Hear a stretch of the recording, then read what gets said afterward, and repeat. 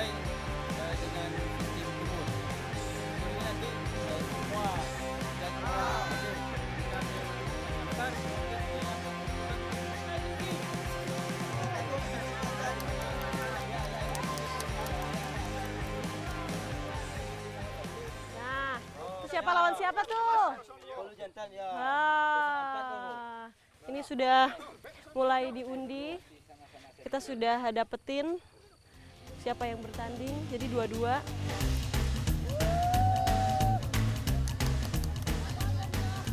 Ini saya sama abang berdua mau tanding.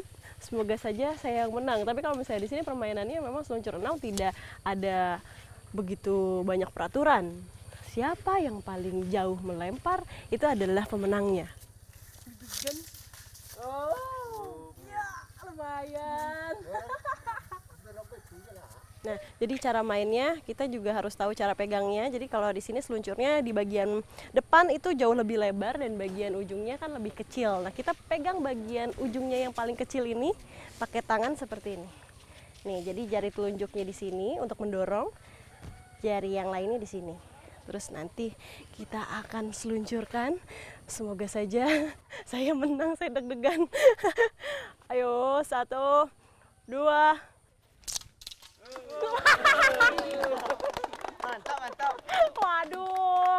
jarak saya sama abang lebih jauh abang. Sepertinya abang yang menang, saya gugur. Jadi nanti abang yang akan melawan pemenangnya juga.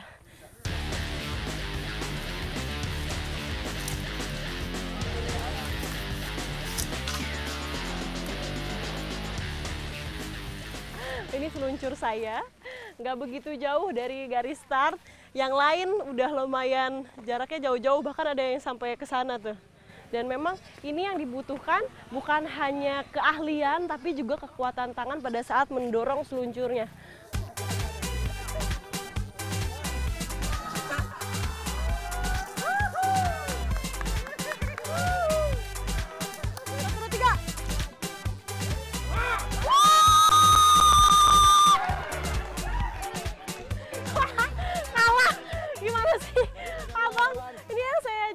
Kalah.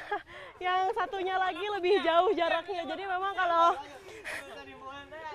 kalau permainan seluncur enau ini siapa yang paling jauh dialah pemenangnya. Jadi nanti walaupun seluncurnya belok-belok atau dia akan ke mana-mana arahnya yang pastinya kita hanya mengukur jarak dari garis start sampai titik terakhir seluncurnya berhenti. Jadi itulah pemenangnya yang paling jauh.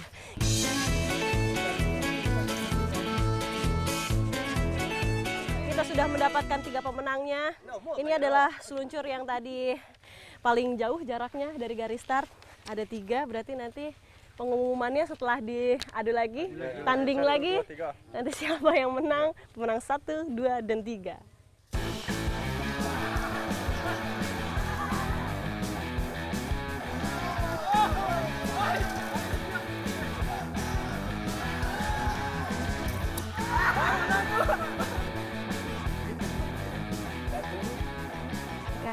Hadiah ya.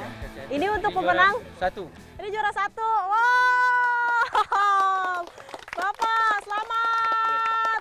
Juara satu. Seluncurnya berarti yang bagus dan tekniknya yang dipakai. Ini untuk pemenang? Juara dua. Juara dua, abang ye. Apa nih? Dari apa nih? Namanya? Ini Dubelang Riau nih. Oh, bilang nih. Ini udah usaha maksimal kan? Iya. Cuma ada halangan sedikit. Waduh. Terima kasih ya. Kasih bang. Dan ini yang terakhir, sudah bantuin saya untuk bikin seluncurnya. Terima kasih dan selamat abang. ini permainannya jadi bener-bener seru. Tapi kalau misalnya cerita zaman dulunya, memang permainan ini dimainkan setelah ada acara besar.